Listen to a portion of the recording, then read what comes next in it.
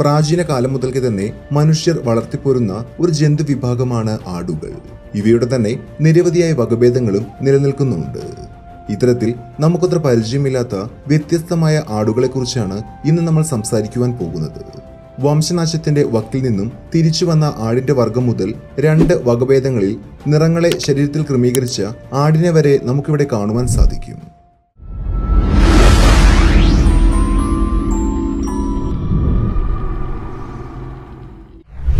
Number ten Damascus goat Aleppo ഹലപ്പേ എന്നീ പേരുകളിലും ഈ ആടിനങ്ങൾ അറിയപ്പെടുന്നുണ്ട്.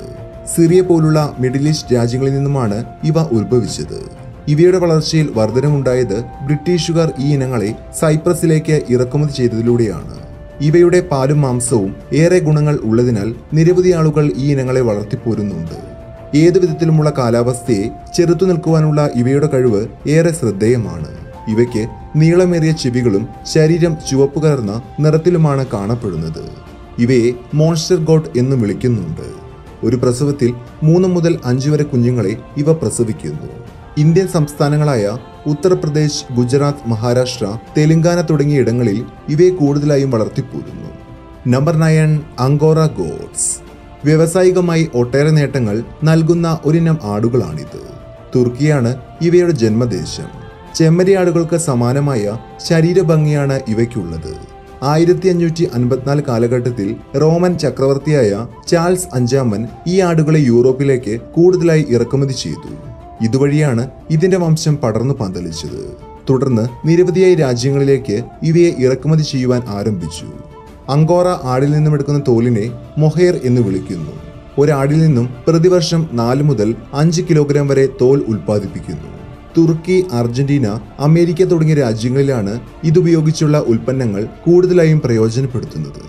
Number eight old Irish goat പേര് പോലെ തന്നെ ഐറിഷ് മേഖലയിൽ കൂടുതലായും കണ്ടുവരുന്ന ഒരു ഇനമാണിത് പാലിനും മാംസത്തിനുമായി ഇവയെ കൂടുതലായും വളർത്തുന്നുവെങ്കിലും ഇടക്കാലത്ത് വംശനാശ ഭീഷണിയുടെ വക്കിൽ ഇവ എത്തിയിരുന്നു. ഇവയിലെ പുരുഷ ഇനങ്ങൾ എൺപത്തിയഞ്ച് കിലോഗ്രാം വരെയും സ്ത്രീകൾ അൻപത്തിയഞ്ച് കിലോഗ്രാം വരെയും ഭാരം കൈവരിക്കുന്നു. കൂടാതെ ഉയരത്തിന്റെ കാര്യത്തിൽ പുരുഷ ഇനങ്ങൾ തൊണ്ണൂറ് സെന്റിമീറ്റർ വരെയും സ്ത്രീകൾ എൺപത് സെന്റിമീറ്റർ വരെയും നീളം കൈവരിക്കുന്നു. നീളമേറിയതും തിങ്ങി നിറഞ്ഞതുമായ രോമങ്ങളാണ് ഇവയ്ക്കുള്ളത്. കൂടാതെ നീളമേറിയ കൊമ്പുകളും ഇവയ്ക്കുണ്ട്. കറുപ്പ് വെളുപ്പ് കൂടാതെ ചാരനിറത്തിൽ വരെ ഇവയെ നമുക്ക് കാണുവാൻ സാധിക്കും. ആയിരത്തി തൊള്ളായിരത്തി തൊണ്ണൂറ്റിനാലിൽ ഐക്യരാഷ്ട്രസഭയുടെ കീഴിലുള്ള ഭക്ഷ്യ കാർഷിക ഓർഗനൈസേഷൻ ഇവ വംശനാശ ഭീഷണികൾ നേരിടുന്നവയാണെന്ന് റിപ്പോർട്ടുകൾ ചെയ്തിരുന്നു. പിന്നീട് ഇവയെ സംരക്ഷിക്കുന്നതിനായി നിരവധിയായ പ്രവർത്തനങ്ങൾ നടക്കുകയും ചെയ്തു. നമ്പർ സെവൻ ബിൽബറി ഗോഡ്സ് തെക്കൻ അയർലൻഡ് ഉത്ഭവസ്ഥാനമായി കരുതപ്പെടുന്ന ഒരിനം ആടുകളാണിത്. ഇത് പശ്മിന മാൾട്ടീസ് കാശ്മീർ ആടുകൾ എന്നിവയുമായി ബന്ധം ഉള്ളവയാണ്. തവിട്ട് കലർന്ന രോമങ്ങളും കട്ടിയേറിയതും വളഞ്ഞതുമായ കൊമ്പുകളാണ് ഇവയ്ക്കുള്ളത്. വംശനാശ ഭീഷണി നേരിടുന്ന ഒരിനം ആടുകളാണിത്. കണക്കുകൾ പ്രകാരം രണ്ടായിരത്തി ഒന്നിൽ ലോകത്താകെ ഏഴെണ്ണം മാത്രമായിരുന്നു ഉണ്ടായിരുന്നത്. രണ്ടായിരത്തി അഞ്ചിൽ അത് ഇരുപത്തൊന്നായി ഉയർന്നുവെങ്കിലും സ്ഥിതി വളരെ ദാരുണമായിരുന്നു. പിന്നീട് ഇവയുടെ സംരക്ഷണത്തിനായി നിരവധി സംഘടനകളും ആളുകളും മുന്നിട്ടിറങ്ങുകയും ചെയ്തു. അതിന്റെ ഫലമായി രണ്ടായിരത്തി എട്ടിൽ നാൽപ്പത്തിരണ്ട് എന്ന എണ്ണത്തിലേക്ക് ഇവയുടെ അംഗസംഖ്യ വർദ്ധിച്ചു. ഡോക്ടർ ഷെർലി ഡോക്ടർ റേവാർണർ എന്നീ പരിസ്ഥിതി പ്രവർത്തകർ നിരവധി പഠനങ്ങൾ ഇവയെക്കുറിച്ച് നടത്തുന്നുണ്ട്.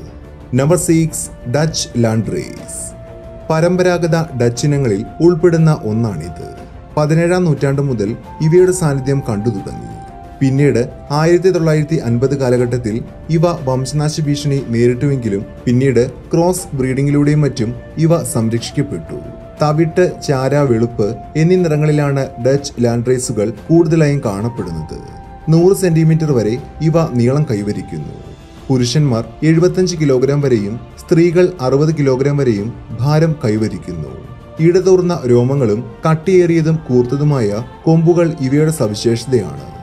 നെതർലാൻഡ്സ് ലാൻഡ്സ്ഗേറ്റ് വെൻവ്യൂസ് ഗേറ്റ് എന്നീ പേരുകളിലും ഈ ആടുകൾ അറിയപ്പെടുന്നുണ്ട്. സംരക്ഷിത മൃഗം എന്ന രീതിയിൽ പരിപാലിച്ചു പോരുന്ന ഒരു ഇനം കൂടിയാണിത്. Number five Barbari goats. India Pakistan എന്നീ രാജ്യങ്ങളിൽ കൂടുതലായി കാണപ്പെടുന്ന വളർത്ത മൃഗങ്ങളാണിത്. ഇന്ത്യയിൽ ഹരിയാന പഞ്ചാബ് ഉത്തർപ്രദേശ് എന്നിവിടങ്ങളിലാണ് ബാൽബറി ഇനങ്ങളെ കൂടുതലായും കണ്ടുവരുന്നത്.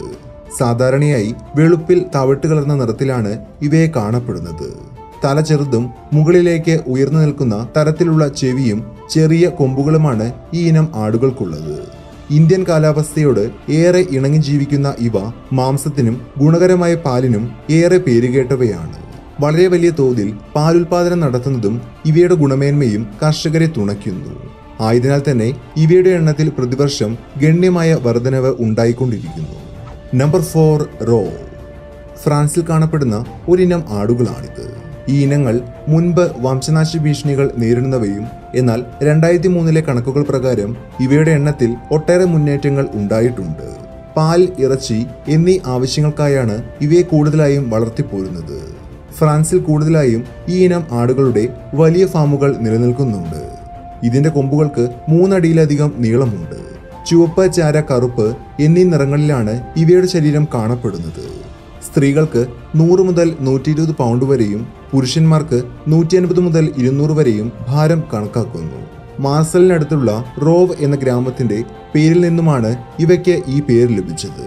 Number three Valais black neck തെക്കൻ സ്വിറ്റ്സർലൻഡിലും വടക്കൻ ഇറ്റലിയിലും വ്യാപകമായി വളർത്തിവരുന്ന ഇനം ആടുകളാണിത്.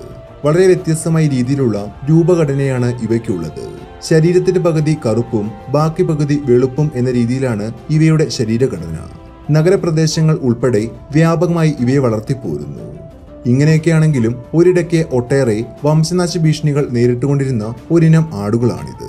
പിന്നീട് ഇവയെ സംരക്ഷിത മൃഗങ്ങളെ പ്രഖ്യാപിക്കുകയും ഇതിന്റെ സംരക്ഷണത്തിനായി നിരവധി പ്രവർത്തനങ്ങൾ നടത്തുകയും ചെയ്തു.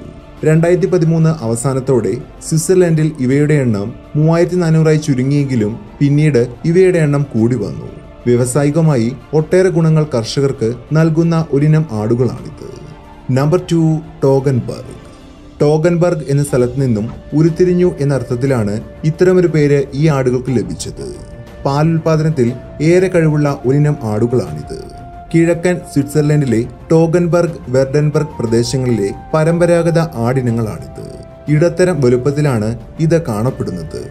ഇളം തവിട്ട് ചാരകലർന്ന ചുവപ്പ് നിറം എന്നിങ്ങനെയാണ് ഇവയുടെ ചർമ്മം കാണപ്പെടുന്നത്. ഇവയുടെ പാലിൽ കൊഴുപ്പ് മൂന്ന് പോയിന്റ് അഞ്ച് ശതമാനവും പ്രോട്ടീൻ മൂന്ന് ശതമാനത്തോളവും അടങ്ങിയിരിക്കുന്നു. മുലയൂട്ടുന്ന സമയത്ത് കുറഞ്ഞത് എഴുന്നൂറ് കിലോഗ്രാമോളം പാൽ ഉൽപ്പാദിപ്പിക്കുവാൻ ടോഗൻബർ ആടുകൾക്ക് സാധിക്കുന്നുണ്ട്. Number one Hijazi. ഇറച്ചി ആവശ്യത്തിനായി വളർത്തിവരുന്ന ഇനങ്ങളാണിത്. അറേബ്യൻ മേഖലകളിലാണ് ഇവയെ കൂടുതലായും വളർത്തിപ്പോരുന്നത്. വെളുപ്പ് കറുപ്പ് തുടങ്ങിയ നിറത്തിലാണ് ഇവയെ കൂടുതലായും കാണുവാൻ സാധിക്കുന്നത്. ഇതിന്റെ മാംസം ഉപയോഗിച്ച് നിരവധിയായ ഉൽപ്പന്നങ്ങൾ ഉൽപ്പാദിപ്പിക്കുന്നുണ്ട്. സൗദി അറേബ്യയാണ് ഇവയുടെ ജന്മദേശം. ആണിനങ്ങൾക്ക് മുപ്പത്തഞ്ച് മുതൽ നാൽപ്പത് കിലോഗ്രാം വരെ ഭാരം കണക്കാക്കുന്നു.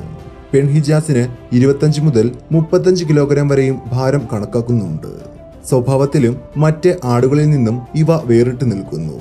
നീളമുള്ള കഴുത്തും ചെവിയും ഇവയെ മനോഹരമാക്കുന്നു.